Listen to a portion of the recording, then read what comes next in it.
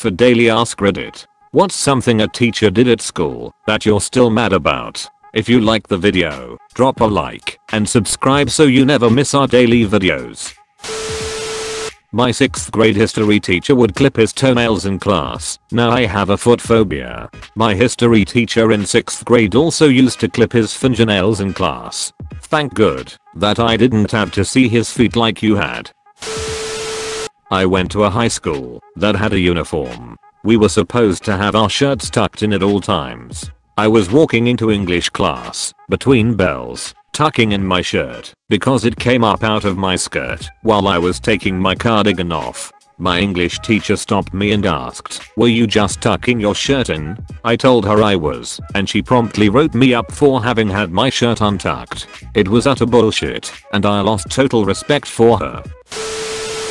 Some teacher called me a waste of time and space during the end of school performance. Because I was too shy to sing I didn't pick a singing role I was like 10 to 11 years old. That is 100% the teacher's fault. I was once told I had broken the computer and felt scared using a computer ever since 17 years married to a very talented software developer and 15 years in a technical role and I only just have my confidence back.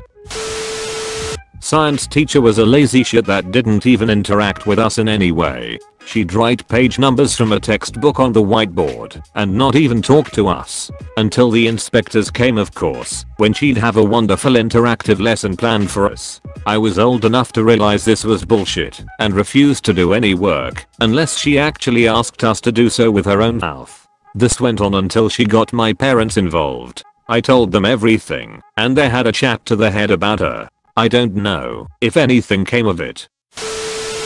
I had a friend in college who really went above and beyond on a programming assignment. She thought of everything. Part of the teacher's test was trying to break the program. Done in class as a presentation thing. The teacher couldn't break it and marked her down for not following the rules. What my friends did was outside the scope of what was required, but nowhere in the rules did say not to and if anything should have been given extra points for really digging in and learning more. A boy in my class, about 8 years old, had dyslexia. So one time, the teacher gave a dictation.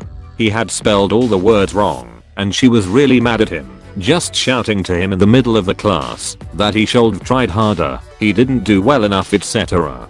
He was crying, and from that moment on I really hated her. My second grade teacher told me I wouldn't amount to anything and would never graduate high school because I have dyslexia. Jokes on her. I graduated top of my class at my university for both my majors.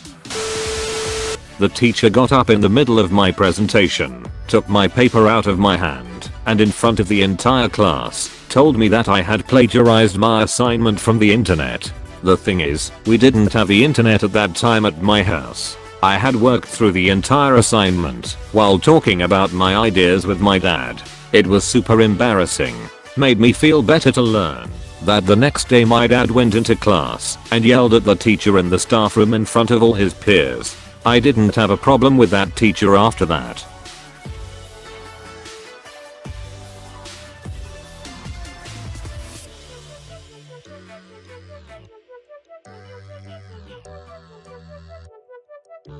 Thank